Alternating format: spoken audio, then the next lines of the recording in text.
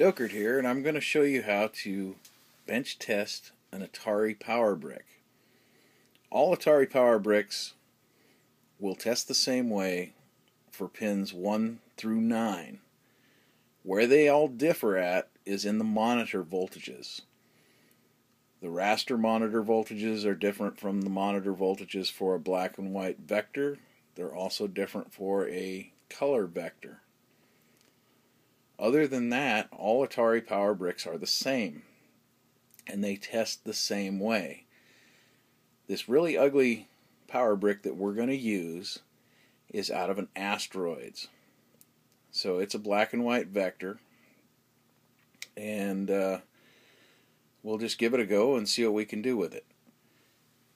The first thing that you need is you need power. And power is going to come into this plug here. The next thing you'll need is you'll need some way to turn this thing on and off. That's going to be controlled at P2 or J2, I should say. It's actually J2.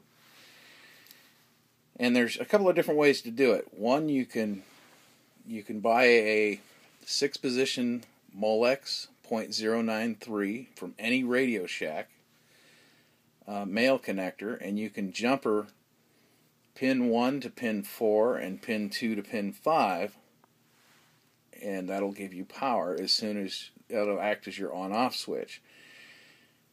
Um, I'm not a big fan of that. I've done it, it works. The better way to go is to take your 6 pin and wire it into some form of a switch. And I like to use a safety interlock because they're easy to move rather than a uh, standard on-off switch, which they can be kind of stiff. All you're going to do is plug this little guy in to J2, and that's your new on-off switch, and it'll be considered P2. The pinout on these things I've drawn, and I'm not the world's greatest artist, and of course, you can see the big mess on my test bench. That's because I've been fixing so much stuff for so many people lately that I just I barely have enough room to work. And the numbering for the um, J2 is just as you see it in my little drawing there in purple. There's no connection at position 3 or position 6. There's nothing needed at either one of those connections. Right next to it is is what I've drawn out for J5 and P5 would be your your wiring connection there. Every one of these Atari Power Bricks is wired the same uh, for pins 1 through 9. Pins 1 through 9 are going to give you all of your voltages to your audio regulator board. That's your 10.6 volts uh, unregulated, your ground, your 36 volts, and your heater voltage of 6.1 volts. This is going to vary a little bit from game to game uh, as far as the schematics go because some of them say 6.3 volts, some of them say 6.1. In the 10.6, sometimes it says 10.3. It really doesn't matter because it's all unregulated voltage. And it's it's going to be either it's going to be right on or it's going to be off some. Um, we'll see what we get when we plug it in and fire it up. And this uh, this particular scat I think uh, was for quantum. I which is a color vector. I really don't know. Don't care. It doesn't matter. The the voltages that, that we're going to be testing, it's all the same, whether it's a color vector, a black and white vector, a color raster, it's all the same. Can't emphasize that enough. So you take your power, just plug in your power into the side. And I probably won't be able to do this one-handed, but we'll we'll give it a shot. Got power plugged in. And now we just pull our little switch and we've got power to this thing. Turn your meter on. Now I've got a an auto sensing fluke. Your grounds are pin 4 and 5. And let's see. I like to use pin 5. Oops. Pointing in the wrong direction. I like to use pin 5. When you go into test point 1, I'm oh, sure I can't get it stuck.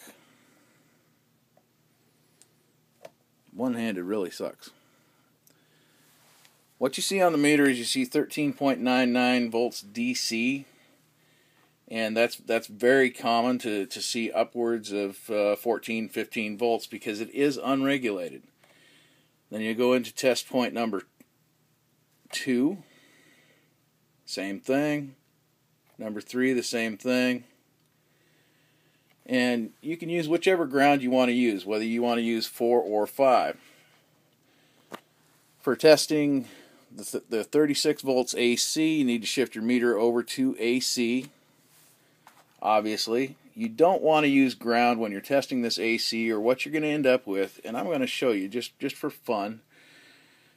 Because on pins, you want to test pin 6 and pin 7, and you'll get your 36 volts AC. If you take either pin 6 or pin 7 and you take it to ground, you're going to get a reading of approximately half, which is 18 volts. This is a big place where a lot of people make their mistake. They'll they'll try and read this to ground and they get half and they panic and they go, "Oh my god, I don't have 36 volts." Well, you don't have 36 volts because you didn't take the reading right. So 6 to 7 is where you want to read it to get your 36 volts AC and as you can see, it's a little high at 30 37 and a half it's acceptable and within tolerance. Next reading you're going to take is 8 to 9. Pin 8 is always the dead center pin on these J5s.